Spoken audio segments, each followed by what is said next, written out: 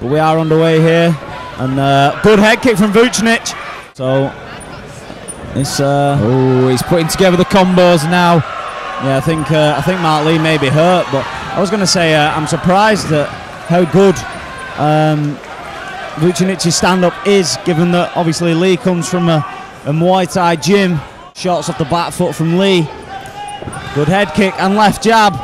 Beautiful. Leigh jumps in for a diving takedown, uh, ends up on the bottom, but that's not a problem for Leigh. I've seen him on the ground. He's um, he's good off his back. Of short shots in there.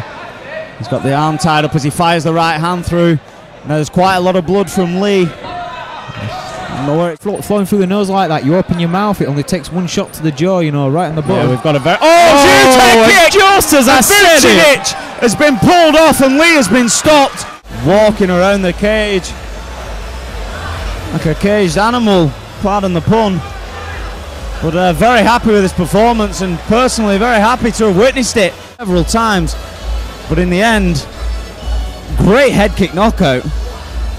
And you know, he showed he, he, he showed some um, good like uh, whereabouts on the ground, knew what he was doing to get back to where he wanted to be. Combat challenge. I'm on board.